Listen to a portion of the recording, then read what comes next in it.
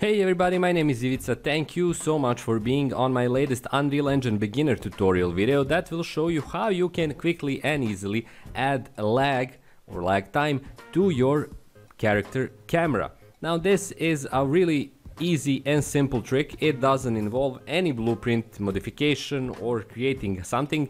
It's basically something that is inherently present in Unreal Engine starting with really old versions and going all the way to version 5. This process will allow you to get that feel of a dynamic camera, a camera that is not simply placed on your player capsule or player character, but has some kind of a lag or is basically lagging behind whatever the player is doing. Now to do that, to add camera lag time, we simply need to select our player character. As you can see, I have my starter content right here open up. This is the third person starter content and I'm going to select the third person character. I'm going to go and edit it. Right here you see this option in the upper right corner.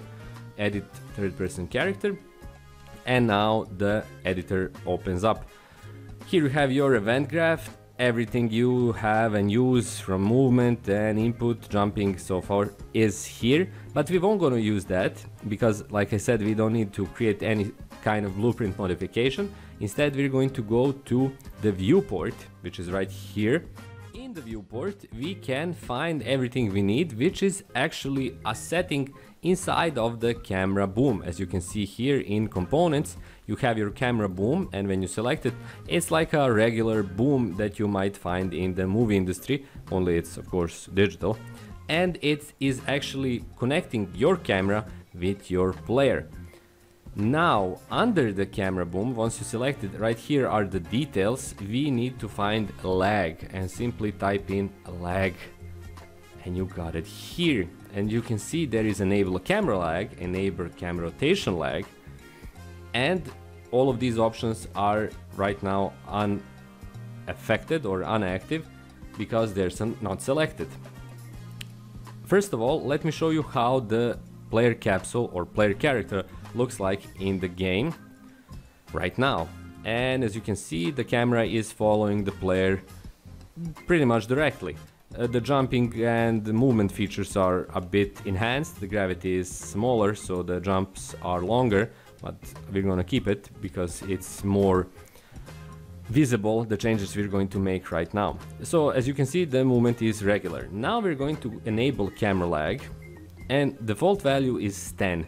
We're going to decrease it to see how the same lag actually performs and let's set it to 5.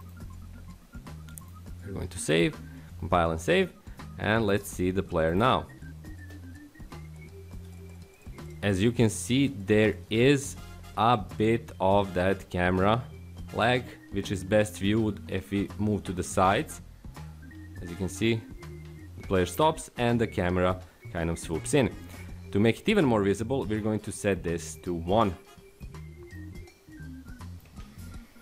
again compile save play. And there is a lot more lag. As you can see my player is literally moving away from the whole screen and the camera is kind of trying to keep up. I move to the side and here it is. It has that even that ease in moment when it slowly moves into the player. Now let's move that. As you can see one is too much. Let's keep it on let's say four. But let's add enable camera rotation lag Script note 10, let's put it on 4 as well. It will allow you to get the camera lag even when rotating, so let's see that. And as you can see, even when I rotate around my player, there is a bit of that lagging motion. In some kind of positions, especially the upside camera or camera from the top, you can see that even better. And the results are really cinematic and really impressive, which is allowing you to get that feel, but don't overdo it. I'm going to talk about that at the end. And we also have camera lag max distance. This is the biggest distance that the camera will allow the player to have. So let's put this to 5 as well. Again, compile a save and let's see how does that look like.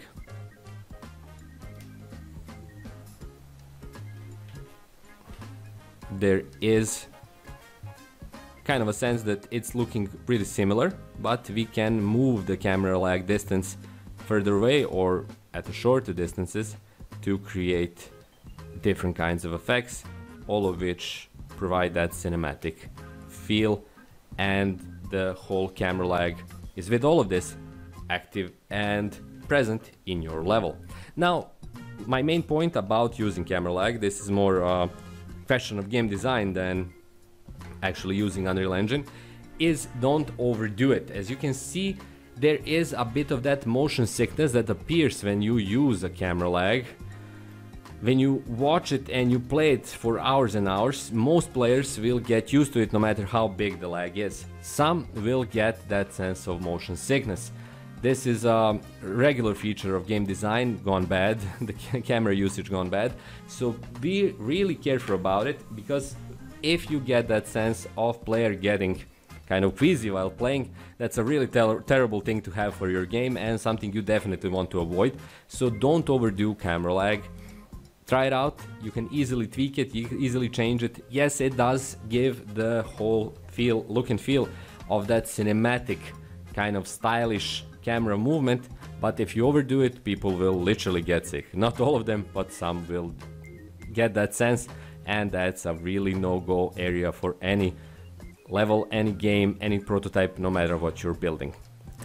That's all for this video, thank you so much for watching, hopefully you found it useful. It's a really simple tutorial, it's something that you can do in a few clicks, but it's also something that you won't probably find intuitively on your own if you just go browsing around.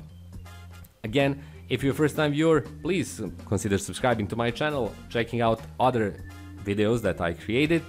There are links in the description below, there are links at the sides probably of your YouTube player. Leave a like, there is a bunch of ways how you can support me as well, including my Patreon page, but the easiest way is to simply leave a like and leave a subscribe so you can check out my new videos when they appear in the coming weeks and months. I basically do one video per week, which is really basic Unreal Engine tutorial, basic stuff that you can apply easily and quickly, even if you're a total beginner like I am months are going by, but I still feel like a pretty much absolute beginner in Unreal Engine. That's all for this Unreal Engine beginner tutorial video. Thank you so much for watching, have a great week and have loads of fun in your Unreal Engine levels. Until my next video, bye bye.